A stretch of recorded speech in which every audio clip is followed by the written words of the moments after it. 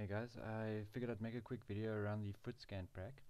So what you guys see here in front of you is the template where you guys will capture all your FootScan data.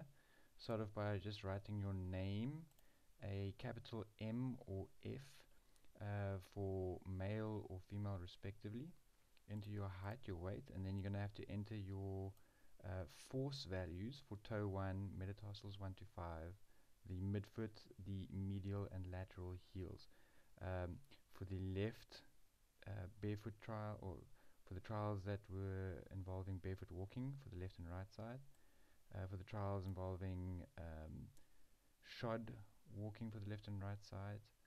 Then you've got your running trials where you've got your barefoot runs left and right and you've got your shod runs left and right. Um, where do you get your data from?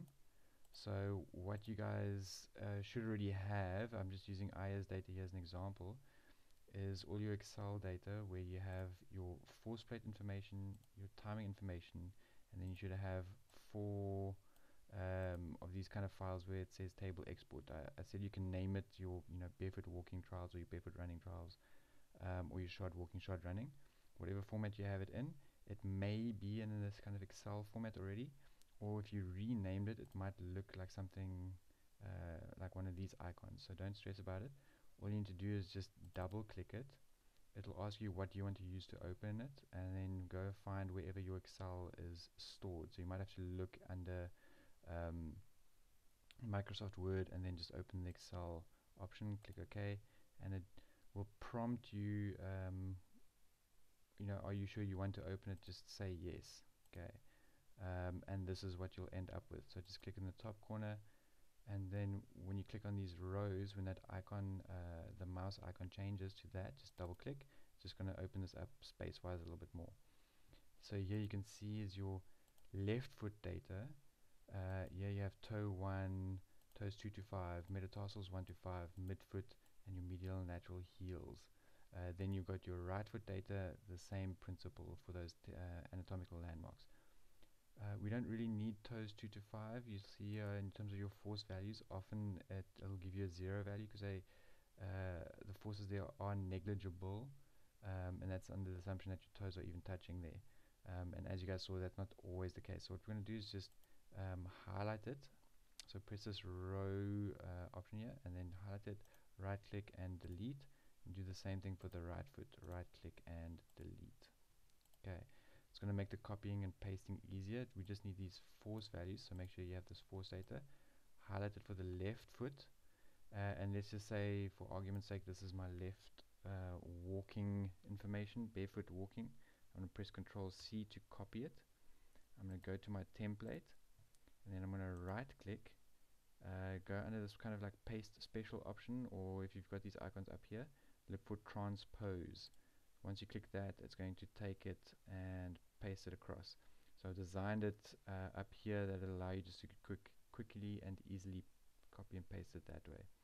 Uh, go back to your uh, Excel file then do the same thing for the right foot okay? So right foot highlight those um, specific areas control C go back to your template. Now you need to do it for the right foot right click and transpose okay so then you're going to go all the way across and make sure that all your data for the shod trials and the running trials are then complete.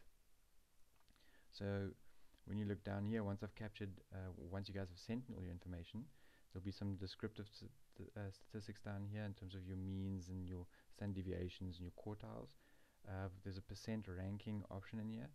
So in other words you can enter your force data and it'll tell you in what percentile you fall within the class data. So if you're in the 75th percentile and above, for example, that means that your forces are amongst the highest in the class for that specific uh, anatomical landmark. So maybe your you know third metatarsal head experiences quite large forces in comparison to everyone else, so on and so forth. So it'll really interesting to kind of see what comes out of that.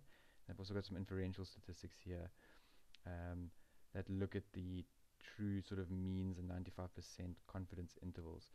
Um, so you'll have that graph over here and you'll have some box and whisker plots over here. I'm just going to show you guys what that looks like with some sample data.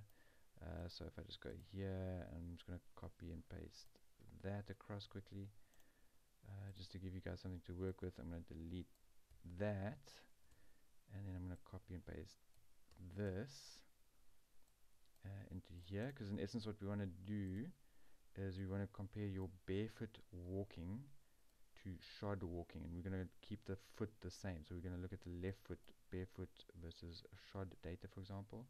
So if I go down here so for each of the uh, anatomical landmarks that we're interested in uh, you can see these differences between shod and walking. Uh, same thing here with your box and whisker plots. So just to kind of unpack it if I look at the first metatarsal head you can see here that your shod walking um, values tend to be substantially lower than the barefoot walking um, values, right? So you'll have to be able to then explain that. Also compare the loading of the different anatomical landmarks.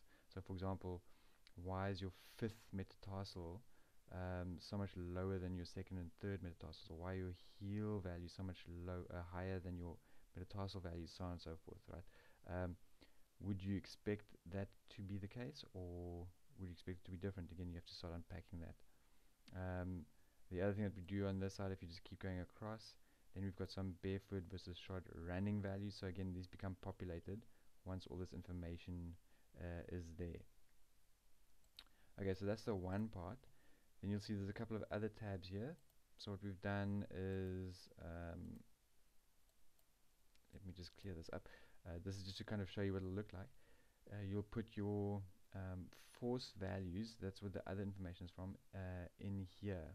Okay, and then these kind of graphs get automatically generated, and you can see here's your walking um, force values um, for the left leg and for the right leg, uh, respectively.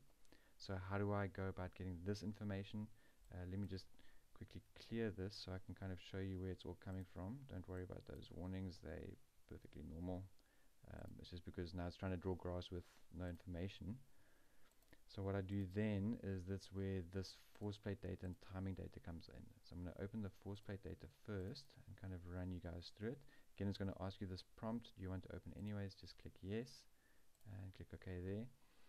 So you'll see here, it's going to give you force plate data for the left foot. It might be different. It depends on when you guys were walking, whether you hit the force plate with your right foot first or with your left foot first. If you hit it with your left foot first, you should have uh, two left foot data sets and one right foot because remember there's three foot strikes that hit the force plate. If you hit with the right foot first, you should have two right foot data set and one left foot. So let's just go down. I've got left foot data first. If I keep scrolling down, you'll see I then get right foot data and then if I keep going down further I should get another one and here's right foot data. So I've got left, right and right. So in essence that means I hit with my right foot first followed by the left followed by another right. Okay, for some reason it stores it very differently. It will give you left and then right and right. So the first right foot data that you see in this case uh, would have been the foot that hits first. Then you up get the left foot data, then go back down to the bottom to get the right foot data. It's weird, but that's just the way it is. Okay. So in essence, what I'm going to do is I'm going to copy and paste uh, this. Uh, this is your timing data, so in milliseconds.